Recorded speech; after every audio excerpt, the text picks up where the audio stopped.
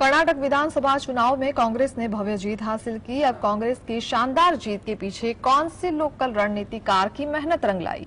क्या अब लोकसभा उम्मीदवारों की यचन प्रक्रिया के लिए कांग्रेस करेंगी सर्वे? कर्नाटक विधानसभा चुनाव में कांग्रेस की शानदार जीत के मद्देनजर चुनावी रणनीतिकार सुनील कानून गोलन की अहमियत बढ़ गई है।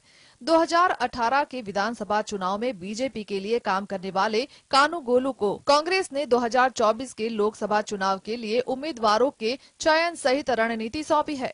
कांग्रेस नेता ने यह स्वीकार किया है। कानूगोलू की रणनीति ने कर्नाटक की जीत में बहुत योगदान दिया। कानूगोलू के पिछले आठ महीनों में कांग्रेस के लिए पाँच सर्वेक्षण किए और कुछ सीटों को छोड़कर सुनील कानूगोलू की टीम द्वारा किए गए सर्वेक्षणों के आधार पर उम्मीदवारों का चयन किया गया। इस सर्वेक्षण के आधार पर हाट सीटों की पहचान की गई और इन सीटों पर आखिर भारतीय कांग्रेस कमेटी ने देश के विभिन्न हिस्सों से पर्यवेक्षक नियुक्त किए। इनमें से कांग्रेस ने साठ सीटों पर जीत हासिल की है और यही अंतर बना। अब Congress election task force Sunil Kanugolu के फॉर्मूले के आधार पर 2024 के लोकसभा चुनाव के लिए उम्मीदवारों का चयन करेगी। ब्यूरो रिपोर्ट जी कर्नाटक के डीजीपी प्रवीण सूद होंगे सीबीआई निर्देशक। कांग्रेस ने किया निर्णय का विरोध। आखिर क्यों? आइए देखते इस रिपोर्ट में। प्रधानमंत्री नरेंद्र मोदी के नेतृत्व में तीन सदस्यीय चयन समिति ने डीजीपी प्रवीण सूद का नाम तय किया है।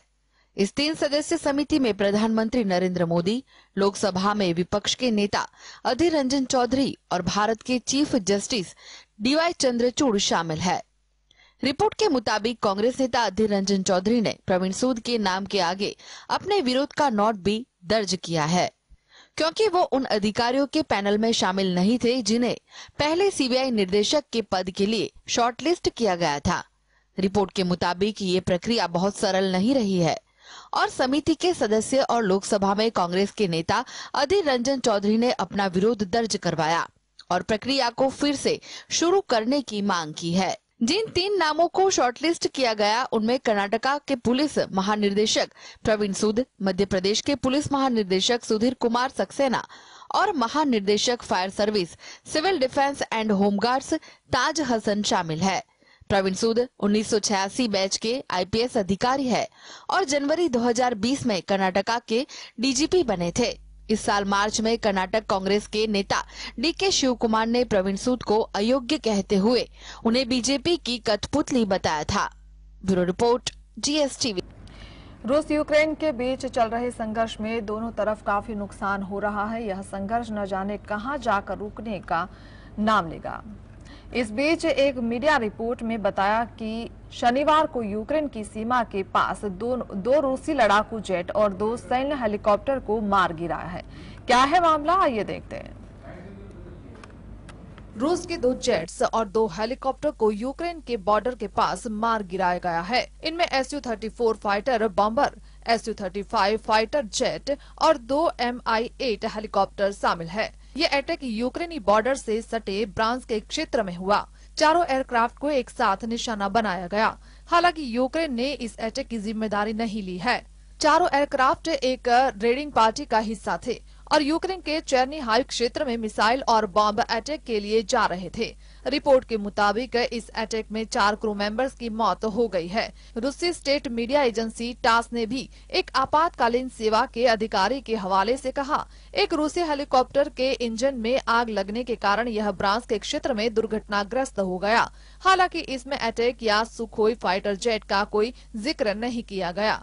रूस पर अटैक को लेकर शनिवार को राष्ट्रपति जेलेंस्की ने कहा, हमारी सेना इसकी तैयारी में जुटी हुई है। हम बहुत जल्द रूस पर जवाबी कार्यवाही की शुरुआत करेंगे। हम जीत पर विश्वास रखते हैं और इसके लिए हम हर ज़रूरी कदम उठाएँगे। ब्यूरो रिपोर्ट जीएसटीवी वोकल जो माहौल क्षेत्र में आतंकवादियों ने नागरिकों का निशाना बनाया। ये लोग उस समय नदी के किनारे खेती कर रहे थे। हमले के बाद स्थिति का जायजा लेते हुए मरने वालों की संख्या 33 बताई गई।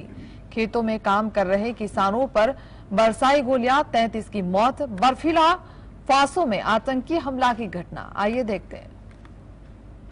पश्चिमी अफ्रीकी देश बुर्किना फासो के बाउकल डू मोहन क्षेत्र में शनिवार 13 मई को किसानों पर हमलावरों ने हमला किया।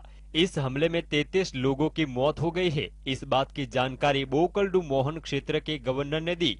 इस साल मार्च महीने के बाद से पश्चिमी बोकलडू मोहन क्षेत्र के कुछ हिस्सों में आपातकाल की स्थिति बनी हुई है। बोकलडू मोहन क्षेत्र में आतंकवादियों ने नागरिकों को निशाना बनाया। उस समय लोग नदी के किनारे खेती कर रहे थे। हमले के बाद स्थिति का जायजा लेते हुए मरने वालों की संख्या 33 बताई गई है। स्थानीय सूत्रों ने कहा कि हमलावर मोटरसाइकिल पर आए थे। उनके पास खतरनाक हथियार थे, जिससे उन्होंने आते ही अंधाधुंध फायरिंग शुरू कर दी थी। बुर्किना फासो में साल 2022 में दो बार सैन्य तख्ता पलट हुआ था। वही साल 2015 में माली से आए जिहादी विद्रोह से जुम रहा है।